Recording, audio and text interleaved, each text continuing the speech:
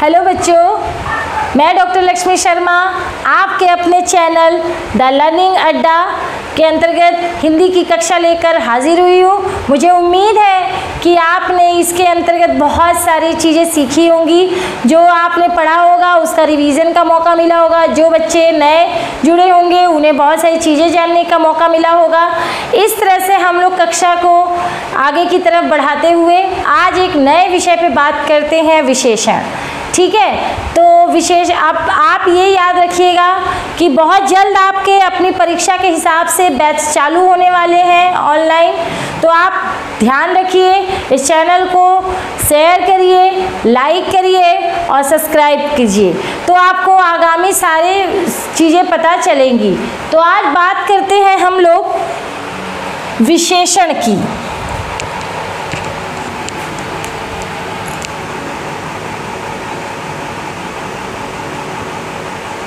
विशेषण। विशेषण किसे कहते हैं? आप जानते हैं कि हम रटी रटाई परिभाषा पढ़ लेते हैं और किताबों में कभी कभी इतर भी प्रश्न पत्र में आ जाते हैं। सो so, विशेषण की एक परिभाषा सभी बच्चों ने रट रखी होगी जो संज्ञा सर्वनाम की विशेषता बताते हैं उन्हें विशेषण कहते हैं। मुझे उम्मीद है कि आप लोग किताबी परिभाषाओं के साथ साथ यदि आप हिंदी का प्रैक्टिकल अभ्यास और अपने अनुभव पे करेंगे तो आपको वो नंबर दिखाई देंगे जो अभी तक आप हिंदी में गेन नहीं कर पाते थे।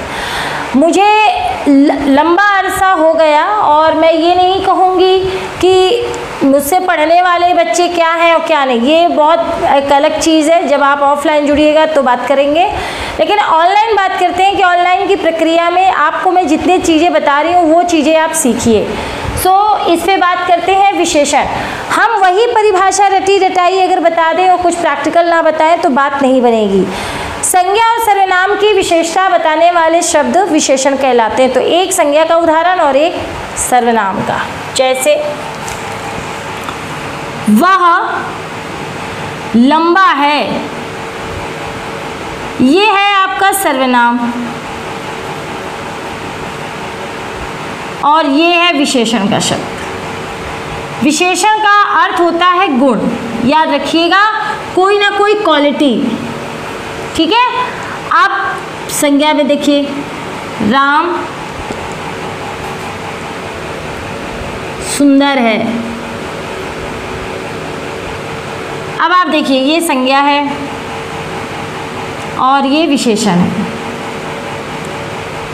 जैसे आपने कहा पर्दा रंग बिरंगा है, जैसे आपने कहा कमरा गर्मदार है या ठंडक ठंडा है कोई भी आपने विशेषण का शब्द लिया जो किसी चीज़ के गुण को क्वालिटी को बताता हो तो वो विशेषण ही कहलाता है। याद रखिएगा, गुण में केवल एक अच्छाई ही नहीं, बुराई के भी शब्द आते हैं। जैसे आपने कहा, रावण एक दुष्ट व्यक्ति था तो दुष्ट यहाँ पे आपका हो गया गुण। तो आपको ये याद रखना है कि कौन सी चीज़ें कैसे, कहाँ कन्वर्ट हो रही हैं और किसके साथ लगकर उसकी विशेषता बता रही हैं। सो इसे बात करते हैं। इसकी परिभाषा समझ में आई होगी? मैं लिख देती हूँ।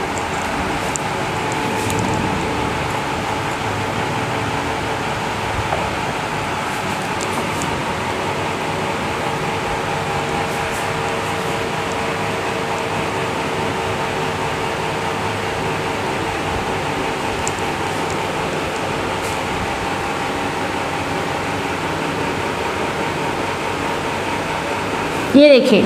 संज्ञा और सर्वनाम की विशेषता बताने वाले गुण ही विशेषण कहलाते हैं।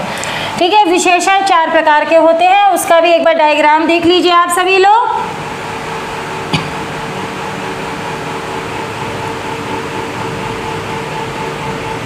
चार प्रकार का होता है बेटा।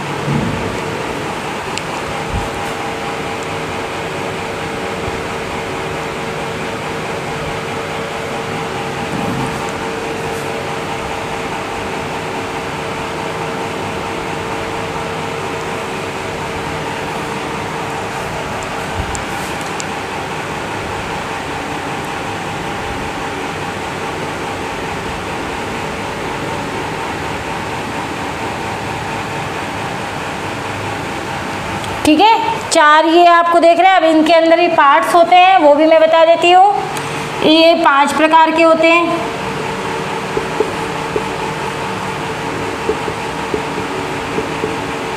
गुणदोषवाचक आकारवाचक रंगवाचक कालवाचक और दशावाचक सात प्रकार के। दिशावाचक और स्थानवाचक। ये दो प्रकार के होते हैं।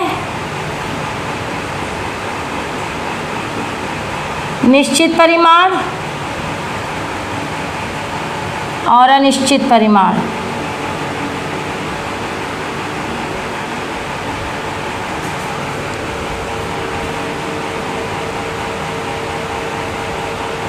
निश्चित संख्यावाचक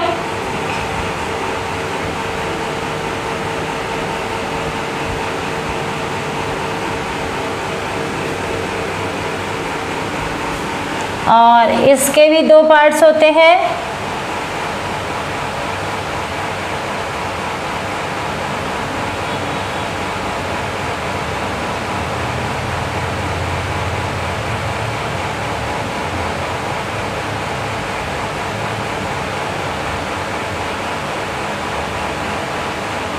ठीक है?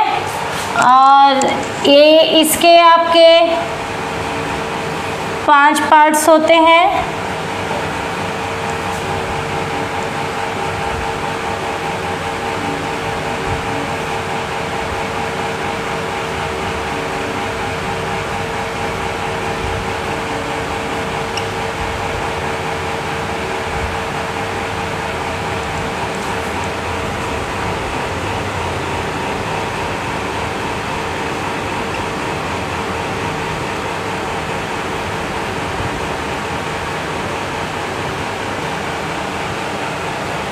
आप देख सकते हैं।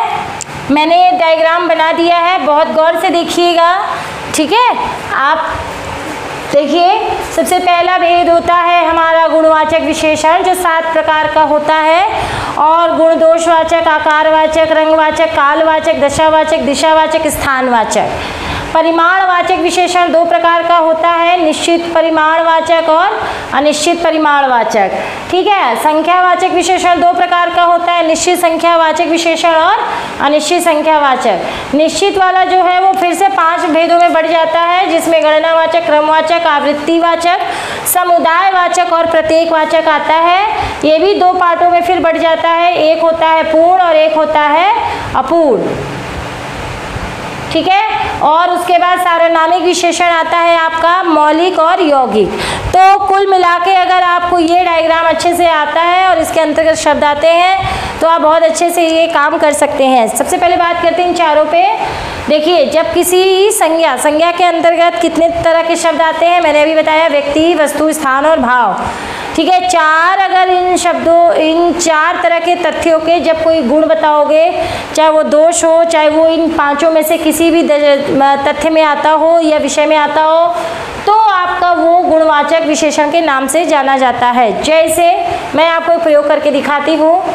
राम एक अच्छा बालक है, गुणवाचक। राम आपका, जैसे हमने कहा कि एक लालची बालक है तो दोष। राम मोटा है, राम काला है खाना बासी है, राम निर्धन है, ठीक है? घर पूर्व दिशा में है ठीक है? और जैसे भोपाली सूरमा प्रसिद्ध है या बनारसी साड़ी प्रसिद्ध है तो इस तरह के जितने भी आपके शब्द आते हैं, जो संज्ञा या सर्वनाम के साथ लगकर उसकी विशेषता को गुण, दोष, आकार, रंग, काल, दशा, दिशा, स्थान के आधार पर बताते हैं तो गुणवाचक विशेषण कहलाते हैं। तो ये बात आपको समझ में आ गई होगी। अब आते हैं परिमाणवाचक पे। परिमाण का मतलब होता है नाप तौल। जिन संज्ञाओं के शब्दों को हम जैसे किसी वस्तु को नाप सकते हैं, तौल सकते हैं, ठीक है, जिसमें के लिए लीटर, मीटर, गज शेर आपका एक प्रश्न भी आया था कि दो गज मलमल। तो आप यहाँ पे गज क्या लगा रहे हैं? हाथी? नहीं। गज का मतलब होता है नापने का पुराना शब्द है गज। जैसे एक गज, दो गज, आपने सुना भी होगा दो गज ज़मीन, ठीक है, इस तरह के। तो जितने भी नाप तौल वाले वस्तु होते हैं, वो सभी वो सभी आपके कहाँ आ जाते हैं? उनकी विशेषता जब आप नाप तौल वाले शब्दों के द्वारा बताते हैं और उनके साथ संख्या लगाते हैं तो कहलाते हैं निश्चित परिमाण वाचक विशेषण। जैसे, मुझे दो किलो चावल चाहिए, मुझे तीन लीटर दूध लेना है तो जब आपने इस तरह के कोई भी आपने बताया तो ये कहाँ जाएगा? परिमाण वाचक आपके विशेषण पर जाएगा। तो ये बात समझ में आ गई होगी। अब परिमाण का मतलब याद रखिएगा, जितनी भी नाप तौल वाली वस्तुएँ होती हैं, फिर से रिपीट कर रही हूँ, जितनी भी नाप तौल वाली वस्तुएँ होती हैं, उनके साथ नाप तौल के जो मानक शब्द लगाए जाते हैं, वो सब आपके किसमें आते हैं, परिमाणवाचक विशेषण में। अब बात करते हैं संख्यावाचक विशेषण पे, ठीक है? हम बात पहले इसकी भी कर लेते हैं, इसकी भी बता देते हैं। जब हम नाप तौल के शब्दों के साथ संख्या लगाते हैं तो वो बन जाता है निश्चित, और जब हम कुछ थोड़ा जरा लगाते हैं तो वो बन जाता है अनिश्चित। जैसे आप उदाहरण देख सकते हैं। मुझे थोड़ी चाय चाहिए। मुझे थोड़ी चाय पीनी है। तो अब अगर आपने ये थोड़ी जो चाय की क्वांटिटी बताई तो वो आपने अनिश्चित बताई तो इसलिए हमें नहीं पता कि कितनी, लेकिन ये अनिश्चित है। सो ये हमारा क्या होगा?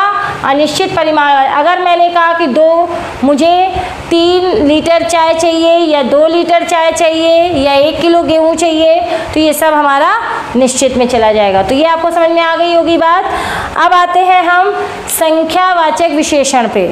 ठीक है? संख्यावाचक विशेषण आपका क्या है? संख्यावाचक जो विशेषण है, वो गणना को बताता है। जब हम किसी भी चीज़ की गणना करते हैं, मैं फिर से बता रही हूँ गणना का मतलब होता है गिनना। हम गिनते हैं काउंटिंग करते हैं तो उन सारे शब्दों को हम कहाँ रखते हैं? संख्यावाचक विशेषण में। आप देखिए, जैसे ही हम कहते हैं कि घर में चार लोग रहते हैं तो आपने उन चार लोगों की गणना करके बताई कि चार लोग रहते हैं। ठीक है? चार लोग यहाँ पे काउंटेबल है तो इसलिए ये आपका निश्चित, आपका संख्यावाचक विशेषण में। लेकिन जब हमने कुछ लोगों से मिले तो ये हमारा हो जाएगा अनिश्चित गण संख्यावाचक विशेषण। जिसके कि पाँच भेद होते हैं, ये भी कई बार डीपली पूछा जाता है। ठीक है? आप देख सकते हैं गणनावाचक, ठीक, क्रमवाचक, आवृत्ति, समुदाय, प्रत्येकवाचक, और ये दो रूपों में विभाजित होता है, पूर्ण और अपूर्ण। ठीक, मैं कुछ बता देती हूँ। अगर हम कहते हैं एक, दो, तीन संख्या का नॉर्मल रूप, यानी सामान्य रूप तो वो आता है गणनावाचक में। अगर हम कहते हैं पहला, दूसरा, तीसरा तो वो क्रमवाचक में। अगर हम कहते हैं कि चार गुना, पाँच गुना, आठ गुना तो वो हमारा आता है आवृत्तिवाचक में। और जब आप कहते हैं कि तीनों, चारों, छठे, दसों लोग, ग्यारह लोग इस तरह से तो वो हमारा समुदाय। और जब एक एक करके आओ बारी बारी आओ, प्रत्येक को मिलेगा इस तरह से जब बोलते हैं तो हमारा ये प्रत्येकवाचक आगामी जितनी भी कक्षाएँ होंगी, उसमें आपको इस सब चीज़ से प्रश्न रिलेटेड मिलेंगे। अब आते हैं सर्वनामिक, क्योंकि इसकी पहली पिछली कक्षा में मैं आपको सर्वनाम के बारे में बता चुकी हूँ। तो इसलिए आप ये समझ लीजिए कि सर्वनाम के जितने भी शब्द जब विशेषण के रूप में बदल जाते हैं या प्रयोग होते हैं कहीं तो वो सार्वनामिक विशेषण कहलाते हैं। ठीक है? सार्वनामिक विशेषण दो प्रकार का होता है, मौलिक और यौगिक। एक, जो सर्वनाम अपने रूप को ना बदले और संज्ञा के साथ लगकर उसकी विशेषता बताए तो वो मौलिक होता है। और जो अपने रूप को बदल दे तो वो हमारा होता है यौगिक। जैसे मैं कुछ करके दिखाती हूँ आपको उदाहरण।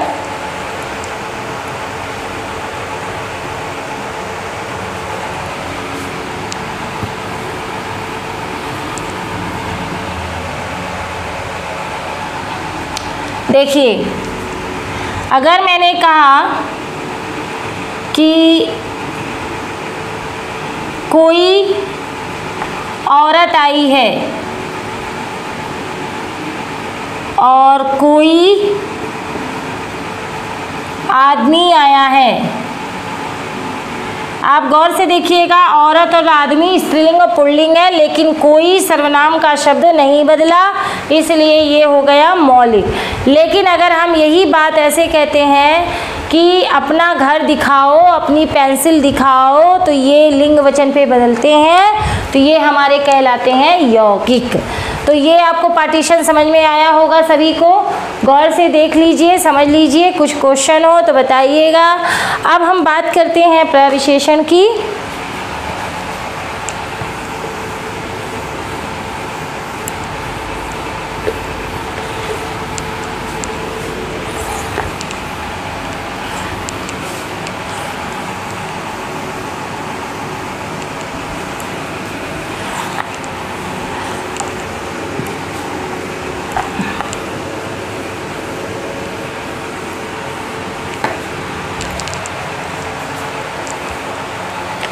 विशेषण के अंतर्गत ही आता है प्राविशेषण। अब प्रविशेषण की अगर हम बात करते हैं तो प्राविशेषण की रटी रटाई परिभाषा सभी पर आ देते हैं। जो विशेषण की विशेषता बताते हैं, वे सारे कहलाते हैं प्रविशेषण, लेकिन ये परिभाषा अधूरी है और संपूर्ण नहीं है। प्रविशेषण के अंतर्गत वो शब्द आते हैं जो विशेषण की विशेषता मात्रा के रूप में बताते हैं। ठीक, वो सारे कहलाते हैं प्रविशेषण। ठीक है, मैं आपको बताती हूँ कैसे। जैसे देखिए,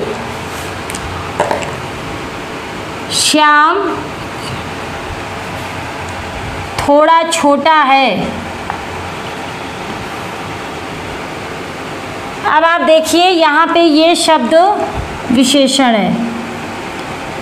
मैंने आपसे पहले भी कहा था, और ये आपका प्रविशेषण। क्यों? क्योंकि यही शब्द आपकी इसकी विशेषता, छोटा तो है, लेकिन थोड़ा छोटा है मतलब ज़्यादा छोटा नहीं है, थोड़ा छोटा और भी छोटा है। तो जब, जैसे आपने कहा दूध बहुत गर्म है तो गर्म तो है लेकिन बहुत गर्म है।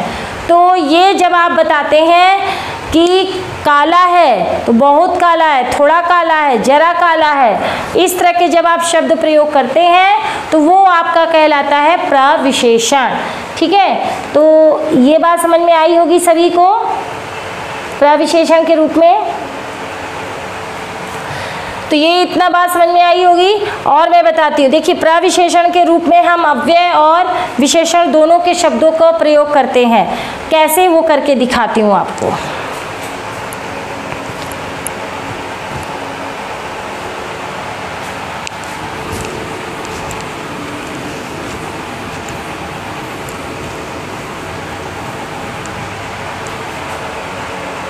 देखिए जैसे हम लोग ने पढ़ा था कम जरा तनिक। ये सारे शब्द हमने अव्यय में आपको बता, बताए होंगे। उसके बाद जैसे हम लोग कहते हैं गाढ़ा हल्का ठीक है? अब आप गौर से देखिएगा ये अव्यय के शब्द हैं। और ये विशेषण है। लेकिन ये दोनों ही शब्द प्रविशेषण में काम करेंगे। कैसे? दिखाती हूँ। जैसे हमने कहा, सफ, साड़ी हल्की पीली है। अब अगर इस वाक्य को पढ़िए तो क्या साड़ी आपकी हल्की है और पीली है? ये नहीं कहा जा रहा है। पीले कलर में तो है, लेकिन हल्की पीली है। तो पीले की विशेषता बता रहा है कौन? हल्की। तो इसलिए इसका नाम प्रविशेषण। ठीक है?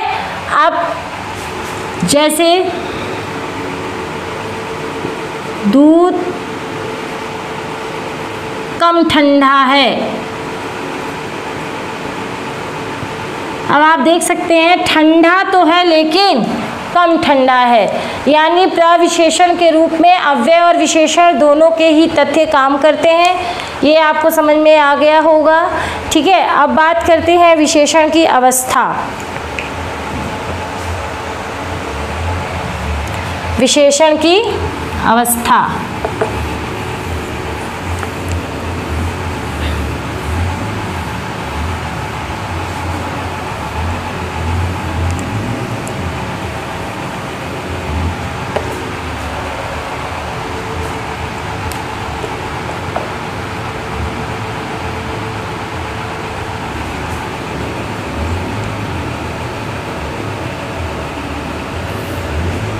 अवस्था से यहाँ क्या सम आप लगाते हैं, ये तो आपको पता होना चाहिए। हर चीज़ का कोई ना कोई एक स्तर होता है और उसके प्रयोग की कोई ना कोई अवस्था होती है। जैसे हम कोई भी चीज़ लेते हैं तो उसको कितने रूपों में प्रयोग कर लेते हैं, ठीक उसी तरह से विशेषण के शब्दों को भी वाक्य में प्रयोग करने के लिए उसके तीन तरीके बताए गए हैं। वो तीन तरीके आपके अवस्था के नाम से जाने जाते हैं। एक मूलावस्था, एक उत्तरावस्था और एक उत्तमावस्था। इसमें भी बहुत सारे प्रश्न बनकर आते हैं, जिसे आप देख सकते हैं। मैं बताती हूँ।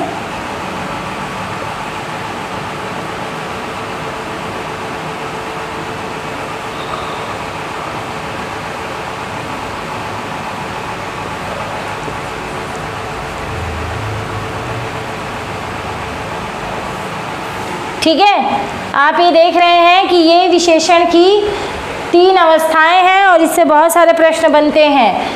मूलावस्था का मतलब है कि विशेषण के शब्दों को जब हम उसके मूल रूप में ही रखकर प्रयोग करते हैं तो वो विशेषण की कहलाती है मूलावस्था।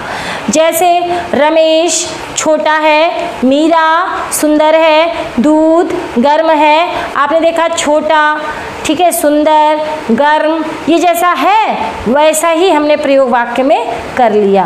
तो ये हमारी विशेषण की कौन सी अवस्था हुई? मूलावस्था। अब अगर हम उत्तरावस्था की बात करें तो उत्तरा का मतलब होता है दो ऐसी चीज़ें। ठीक है, याद रखिएगा जैसे हमें तुलनात्मक अध्ययन करना हो तो जैसे राम श्याम से अधिक अच्छा है, या मीरा रोहिणी से ज़्यादा अच्छा पढ़ती है या गाती है तो जब हम तुलनात्मक अध्ययन प्रस्तुत करते हैं तो वो हमारा उत्तरावस्था के नाम से जानी जाती है। और इसमें दो चीज़ें एक दूसरे से बिल्कुल अलग होती हैं, इनका लिंग और उस पर कोई असर नहीं होता। है मतलब हम ये नहीं जैसे कई बार हम लोग कहते हैं कि तुम जैसे शेर की तरह बलवान हो तो आपने दो लोग की तुलना कर दी, शेर और एक इंसान की, और उसकी क्वालिटी बता दी तुलना करके। अब इसमें बाउंडेशन नहीं होता है लिंग, वचन, जाति, किसी का भी। ठीक है? अब आते हैं उत्तमावस्था पे। उत्तमावस्था का मतलब होता है कि किसी समूह में से, जिसमें एक ही गुण चल रहा हो, और समूह में से आपने एक जैसा ही मतलब उसका विवरण किया तो उसे हम लोग उत्तमा अवस्था कहते हैं। जैसे नदियों में श्रेष्ठ गंगा है। तो कुल मिला के आप ये कह सकते कि एक जैसे समूह वाले में से जब किसी एक को श्रेष्ठ दिखाना हो तो उसे हम क्या कहते हैं? उत्तमावस्था। तो ये आपको समझ में आया होगा कि विशेषण की अवस्था क्या है। फिर से एक पुनः एक बार दोबारा बता देती हूँ। विशेषण के शब्दों को जब हम वाक्य के आधार पर उसके मूल रूप में, तुलना के रूप में या श्रेष्ठता के रूप में प्रयोग करते हैं तो उसे हम लोग कहते हैं विशेषण की अवस्था। जब मूल शब्द प्रयोग हो वाक्य में तो मूलावस्था। जब दो लोग की तुलना हो तो उत्तरावस्था। और जब एक एक जैसे गुणों वाले समूह में से किसी एक को श्रेष्ठ बताया जाए तो वो उत्तमावस्था कुछ चुनिंदा शब्द आपको दिखाती हूँ जो पेपर में बनते आए हैं और आते भी रहते हैं। जब इसमें आप शब्द लगा सकते हैं प्रत्यय तर और इसमें लगता है तम। दिखाते हैं आपको।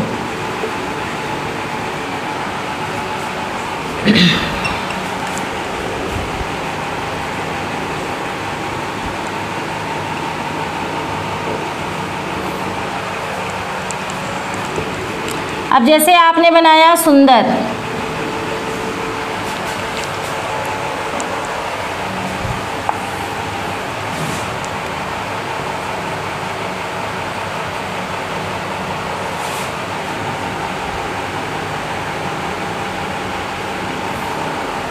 अब इसमें तर लगा दीजिए।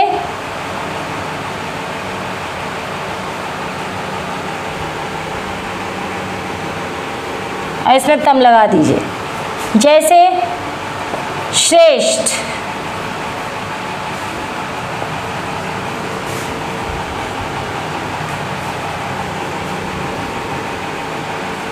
ठीक है? अब आप कहेंगे अच्छा का क्या बनेगा? वो भी दिखा देती हूँ।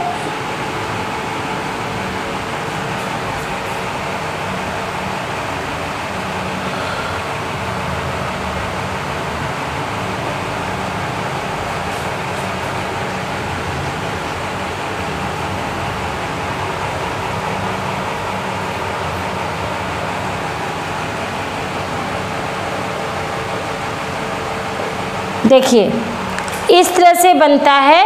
आपने देखा कि ये क्या है? तो आज की कक्षा में आपने विशेषण से संबंधित, विशेषण की परिभाषा, उसके प्रकार, विशेषण की अवस्था, ठीक है? और आपने साथ ही साथ इसकी जो प्रविशेषण सीखा तो बहुत सारी चीज़ें और भी तथ्य हैं जो कि आपको अगली कक्षा में मैं बताऊँगी। लेकिन आप याद रखिएगा, इनसे बहुत प्रश्न आते हैं। सो मुख्य मुख्य बातों और तथ्यों के साथ मैं रोज़ आपके लिए क्लास लेकर आती हूँ कि आप इसका अभ्यास करें। यदि आप भूल गए हैं तो इसकी पुनरावृत्ति करें और अपने जो प्रश्न हैं, वो मुझसे पूछिए, बताइए। तो कोशिश ये कीजिए कि आप इसको कर सकें। तो मैं चाहूँगी कि आप लोग इसी तरह से अध्ययन करते रहिए और हम लोग आगे की कक्षा में फिर से मिलेंगे। लेकिन आज की, अब तक की कक्षा में जो कुछ भी हुआ, वो आपने अच्छे से अध्ययन किया होगा, क्योंकि अब इसी पे मैं आपके लिए प्रैक्टिस सेट लेकर आऊँगी और बहुत सारे प्रश्न आपको मैं कराऊँगी। सो आज की कक्षा इतनी ही के लिए बने